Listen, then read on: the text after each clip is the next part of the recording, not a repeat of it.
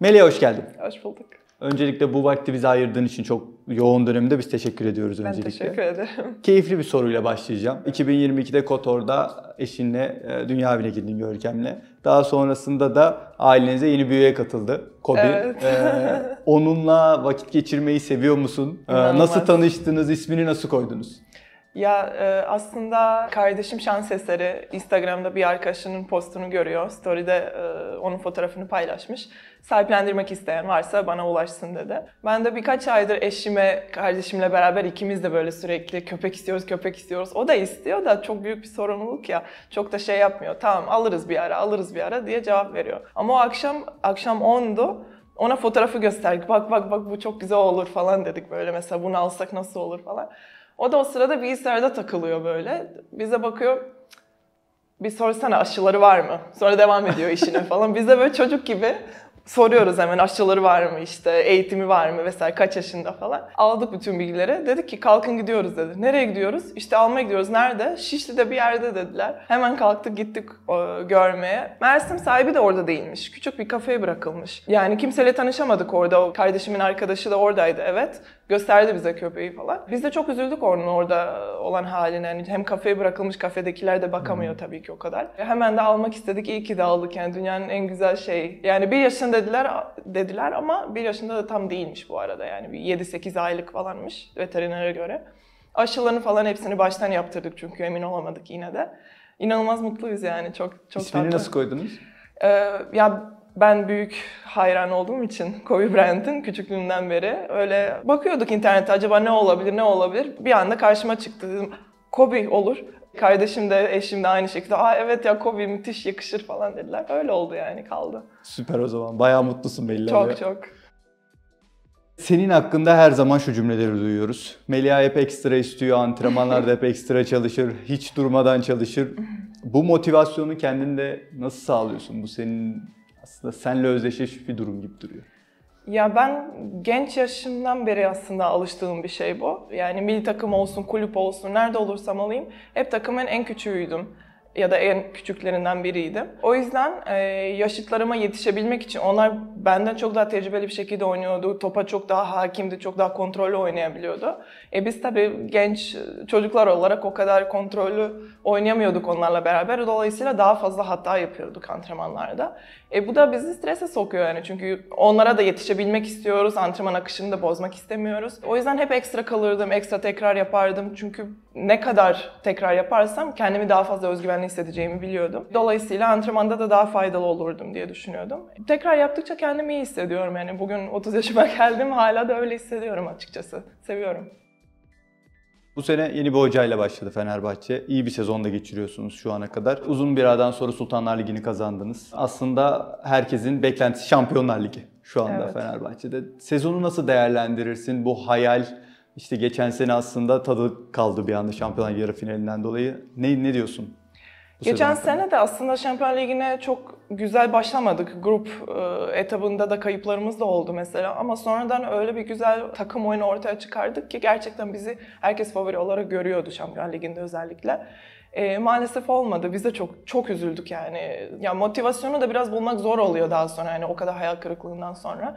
E, ama ligi kazanarak bunu kendimize e, gerçekten bu işi yapabileceğimizi gösterdik. Evet o bir kere olmadı ama seneye olabilir e, haline ge- getirdik. Gerçekten inanıyorum bu sene o sene olacağına. Umarım o kupa bizim olacak bu sene. Yeni bir hocanız var demiştim. Lavarini ile başladınız. Yani geçtiğimiz yıllara göre aslında ucumda daha fazla top alıyorsun ve bu belki de özgüvenini de arttırdı gibi duruyor. Ee, Lavarini'nin sana verdiği rol hakkında ne düşünüyorsun? İlk iki senemde baktığımızda e, yarım saha manşet alıyordum ben Arina ile beraber. E, Arina'yı kapatarak yani Gizem'le beraber ikimiz yarım saha manşet alıyorduk. Böyle bir görevim vardı. Ama ben de bu görevi kabul ederek buraya geldim. E, seve seve yaptım çünkü ben yarım saha manşet alacaksam ve yanımda inanılmaz hücum gücü yüksek olan Vargas'la, Arina, Ana gibi hücumcuları varsa onlara vuracaksa ben arkada onlar için daha farklı işler yaparım tabii ki. Onlar da e, o kadar tecrübeye sahip değiller. Ama Arena'da iki seneden sonra inanılmaz gelişti e, manşete ve defansta da. ilk geldiğinde bu kadar tecrübeli değildi tabii ki. Ki bu da normal bir şey. Hücum gücü aşırı yüksek olan bir oyuncu. Yani 18 yaşındayken bile dünyanın en iyi hücumcularından biri olarak sayılıyordu. Bu e, olgunlaştıkça çok daha iyi olacağını düşünüyorum tecrübelendikçe. E, şimdi de bu kadar kapatmıyoruz mesela manşette. Pasörümüz de çok zekice oynatan bir pasör aslında ve e, herkesi oynama teşvik ediyor ve herkesi oyunda tutmaya çalışıyor. Hem oyunculara motivasyonu bu kadar sağlıyor hem e, takım içinde çok iyi olduğunu düşünüyorum. Güzel bir dağılım var yani mesela oyunumuzda. E, Lavari'nin de sevdiği bir oyun tarzı diyebilirim. E, bizim de çok hoşuma gidiyor. Bana mesela oyunda farklı küçük detaylara odaklanmam gerektiğini hatırlatıyor ve her zaman işe yaradığını gördüm açıkçası. Bu da beni çok motive ediyor ve takıma daha faydalı olabiliyorum bu şekilde. O zaman Lavarini'yi sorayım. Nasıl tanımlarsın? Özellikle mental açıdan çok fazla katkısı olduğu söyleniyor dışarıdan. Biz koçla da konuştuğumuzda. Ne dersin Lavarini hakkında? Açıkçası ben de uzun zamandır onunla çalışmak istediğim bir antrenördü. Ee, yabancı arkadaşlarımdan çok şey duydum hakkında. Çok güzel şeyler duydum. Kendisi de çok komik biri, e, rahat biri aslında. Çok basit bir maçta mesela paralel kapatmam gerekiyordu. Ben son anda blokta paraleli kapattığımı düşünerek kollarımı oynatmışım paralel vurdular falan kızdı böyle. Ben dedim özür dilerim dedim kollarımı oynattım. E oynatma dedi. Hani öyle bir şaka yaptı mesela. Yani tamam tabii ki bu bilmiyorum Vakıbank'a karşı 22-22'de olan bir şey değil tabii ki ama daha rahat olan e, anlarda ama tabii ki hani bu oyuncuyu da motive ediyor yani mesela şey yapmıyor. Yerin dibine sokmuyor yani böyle bir şey yaptım diye biliyor ki daha sonra ben bunu yapmaya uğraşacağım. Dışarıdan da çok sempatik duruyor zaten. Evet, evet kesinlikle öyle. Aslında ilk başta Boyan Adırsa'ya Dırça'yı sormak istiyorum. Hı hı. Birlikte uzun yıllar geçirmiştiniz, hı hı. yeniden geri döndü. Onun hakkında ne söylersin? Birlikte oynadığında yani birbirinizi anlıyor musunuz saha içinde? Ya tabii ki özellikle bir de aynı dil konuştuğumuz için daha hızlı e, iletişim oluyor. Bazen de tek bakıştan da birbirimizi anlayabiliyoruz yani sürekli beraber zaman geçirdiğimiz için ve daha önce beraber oynadığımız için. 10 yıl önce İlbank'ta beraber oynarken de aslında e, hemen uyum sağlayabildik. Ben oradayken de bir kere ona bana böyle top atar mısın dediğimi hatırlamıyorum yani. Direkt bu oldu mu? Oldu dedik. Böyle devam ettik yani sezon boyunca da çok güzel anlaştık. Ben onunla oynamayı çok seviyorum yani. Hem e, o da eğlenerek oynuyor ve hırslıdır kendisi de. E, herkesi e, dediğim gibi oyunda oynatmaya çalışan ve tutmaya çalışan bir pasör olduğu için takıma çok faydalı olduğunu düşünüyorum. Biraz takım arkadaşlarını sorarak devam edeceğim. Aslında Arina'yı anlattın ama yani Arina ve Ana çok genç yaşta buraya geldi. Hı hı. Ve gerçekten şu anda çok ileri düzeyde smaçörler olmaya başladılar. Onlara ablalık yaptığın oluyor mu? Hı hı. Neler söylersin onlar hakkında? Tabii ki ikisi de ilk geldiklerinde 2004'lülermiş gibi durmuyorlardı açıkçası. Hala da öyleler. Yani yaşlarına rağmen inanılmaz e, yüksek seviyede oynayan oyuncular özellikle hücumda. Güçlüler, yüksekler. E, tabii ki tecrübesiz anları oluyor. Yani sahada zorladıkları anlar oluyor. O anda ben de teknik ya da taktik bir şekilde yardımcı olmaya çalışıyorum ama bazen de bir hatadan sonra kendilerine çok yükleniyorlar mesela. Çok kızıyorlar kendilerine ve bir sonraki sayıya odaklanmak zor oluyor. Bir önceki hatayı böyle bu şekilde düşünerek. O sırada onlara sadece aslında ne kadar iyi oyuncular olduklarını hatırlatmak bile yetiyor. O şekilde yanlarında durmaya çalışıyorum ve yardımcı olmaya çalışıyorum. Aslında yabancı oyuncularla iletişimin çok iyi duruyor. Onlarla gerçekten iyi bir diğer takım arkadaşı ama yabancılarla da iletişimin çok iyi. Arkadaşlık ilişkilerin çok iyi. Sence takımın başarısında bu ne kadar etkili oluyor Fenerbahçe'de? Bütün takım aslında çok iyi duruyor gibi. Önce Magdalena Steşak'la Aslı çok yakınlar. Zaten kaptan herkes iyi, herkes onunla iyi. Bu sizi nasıl etkiliyor? İyi bir takım olmuşsunuz gibi duruyor. Ya ben aslında çok şanslıyım ki hani hayatımda her oynadığım takım, milli takım olsun, kulüp olsun hep böyle bir e, arkadaşlık ortamı vardı. Hiç böyle büyük e, sorunlarla karşılaştığım olmadı açıkçası. Özellikle de Fenerbahçe'de gerçekten her zaman aile gibi hissetmişimdir. Daha önce de oynadığımda böyle bir şey vardı ve bundan dolayı da çok mutluyum. Özellikle yabancı arkadaşlarıma yardımcı olmaya çalışıyorum ki çünkü kendim de bir yabancı olarak 2010'da e, geldim Türkiye'ye ve o zaman dil bilmiyorken bana çok fazla yardımcı ol- olabilecek biri yoktu. Fazla İngilizce bilen de yoktu mesela. O yüzden insanlarla anlaşma konusunda zorlanırken e, aynı anda voleybolda da zorlandığımı hissediyorum. Çünkü kafamda fa- çok fazla yer kaplıyordu bu tarz şeyler. E kimsenin de böyle hissetmesini istemem mesela. Yani mümkün olduğunca onların da hayatlarını kolaylaştırmak istiyorum. E, bu çok ufak bir şey olabilir yani. Bir tercüman olarak bir şeyde yardımcı olabilirim ya da bir yerden bir yere götürmek olabilir ya sipariş vermek bile olabilir. Yani bu çok ufak şeyler. Ama e, onların da rahat hissetmelerini sağlamak isterim açıkçası. Ya da baktığınızda mesela yabancılar burada bir iki yıl kalıp başka ülkeye de gidebiliyorlar. Yani çok fazla kalıcı arkadaşlıklar olmuyor ama ben genelde ilişkilerimi iyi tutmaya çalışıyorum herkese. Sorularım da yoktu ama ben Magda'yı da sormak istiyorum. Şık'ı. Yani gerçekten uzun yıllardır sizle birlikteymiş gibi. Uzun yıllardır Fenerbahçe'de oynuyormuş gibi. Evet. Yani bu kadar çabuk uyum sağlaması ondan kaynaklı mı yoksa sizin de biraz katkınız oldu mu? İkisi de bence. Biz de böyle çok sevecen insanlar olduğu için biz de onu hemen kabul ettik. Kendisi de öyle olduğu için. Ben de birkaç yıldır tanıyorum zaten Magda'yı. Ee, inanılmaz zeki biri. Yani birkaç Sırp e, kızlarla oynadığı için Sırpça öğrenmiş. Yani kendi diline evet benziyor ama inanılmaz çözmüş. Yani gramer olarak bile inanılmaz konuşuyor. Ben onunla o şekilde konuşuyorum. Yani kendi dilimi konuşuyorum. Hiçbir zaman İngilizce konuşmayız.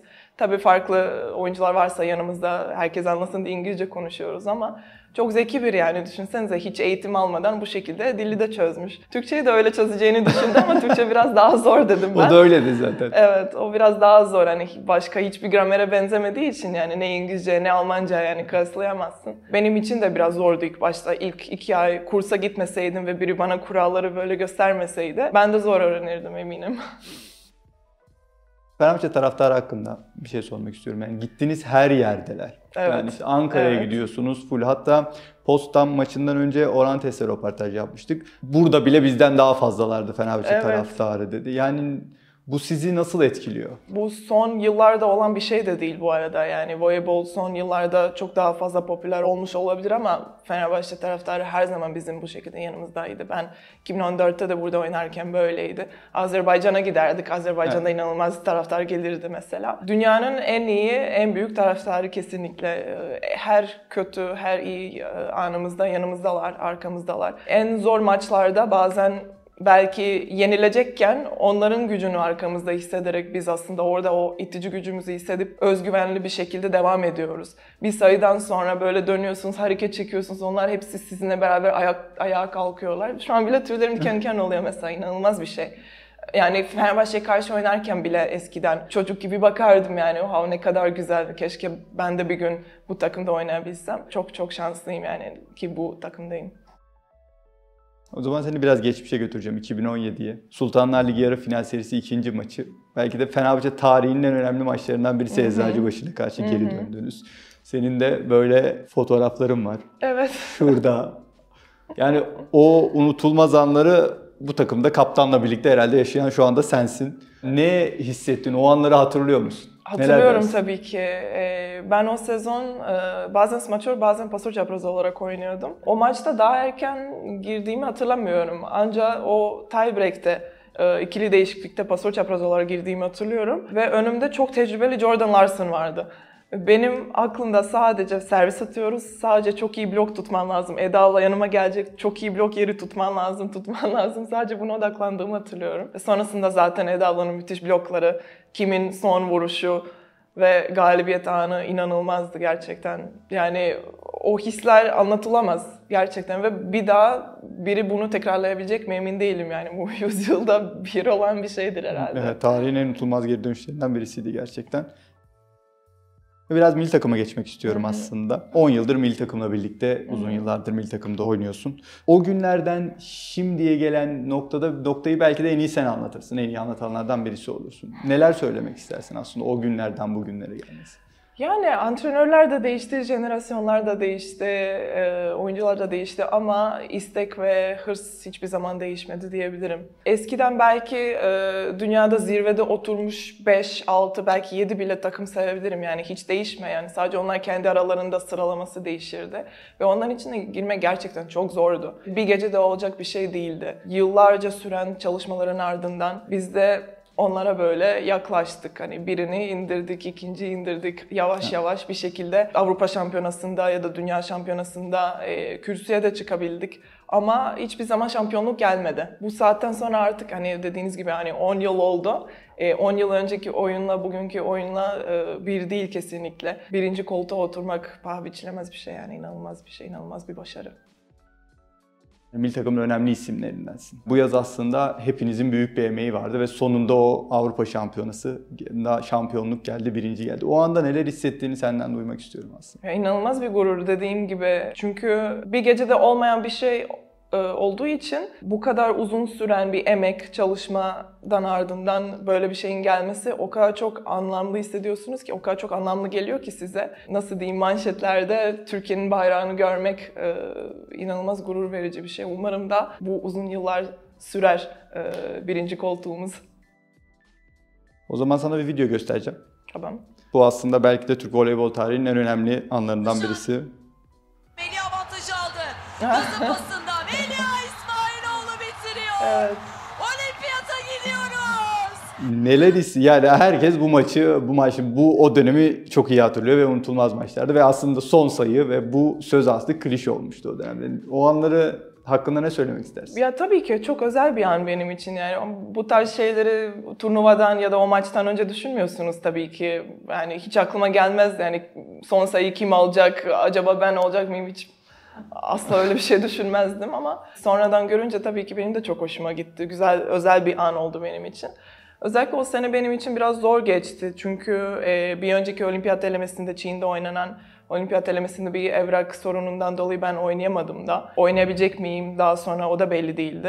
E, tabii sonra çözüldü sorunlar. E, Avrupa Şampiyonası'nda oynadık. Hı. Sonra kulübe gittik. Kulüpteyken belimden sakatlandım. Neredeyse bir ay boyunca oynamadım. Dönmek de çok zordu ve bu turnuvayı Ocak'ta oynadık.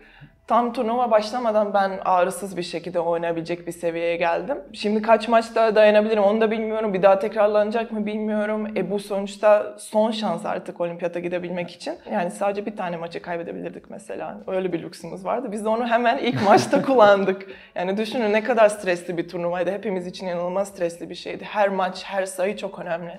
E grupta Belçika ile bile biz 3-2 oynadık. Yani düşünsenize orada bile elenebilirdik mesela.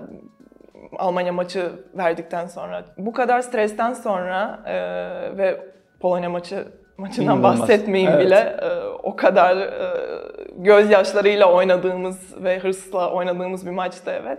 E, Almanya maçını bence çok çok özgüvenli oynadı. Çünkü öyle bir Polonya maçından çıktık ki yani artık karşımıza kim çıkarsa çıksın biz onu yeneriz yani biz neler yaşadık diyoruz içimizden. Çok güzel oldu. Ee, yine de 25-22 bitti diye hatırlıyorum ama Yine de 24-22 öndeyken bile insan şey düşünmüyor ya aldık rahat hani son sayı artık falan. Çünkü yine de ya alamazsa ya bir şey daha uzarsa bir stres vardı yani herkeste. Son topta bana geldiğini görünce direkt dedim bitti. bitti. Yani ben bunu vur, vuruyorum ve olimpiyatlara gidiyoruz yani. Ve o bütün o stres, kaygı ne yaşadıysak daha sonra bütün her şey o gözyaşlarla beraber dışarı çıktı yani. Çok özel bir andı bizim için.